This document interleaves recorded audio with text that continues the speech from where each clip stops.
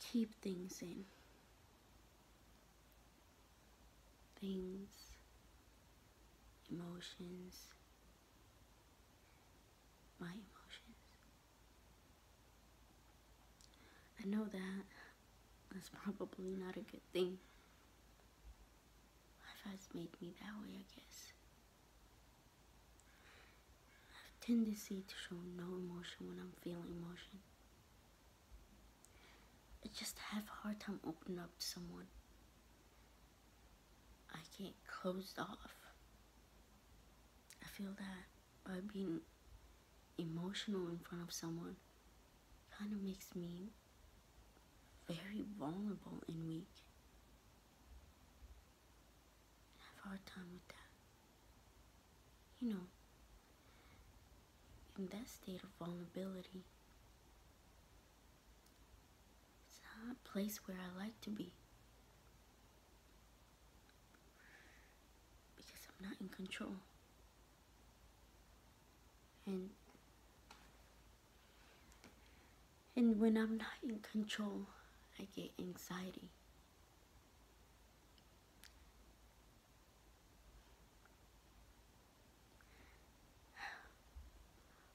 Whenever I truly loved anybody opened myself up to them, they have always stabbed me in the back.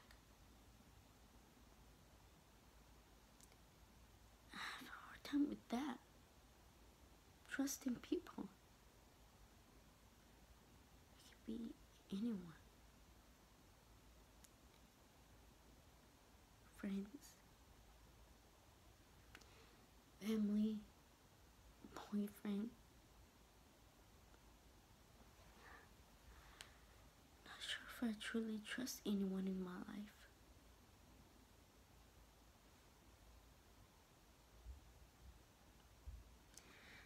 It's it's sort of protective shield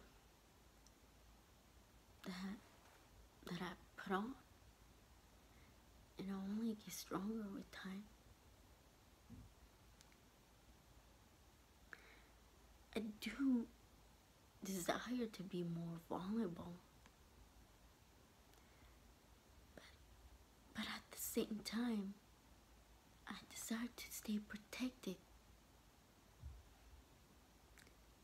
I feel torn every time I do take a risk. I get hurt. Not sure if I should keep on taking those risks.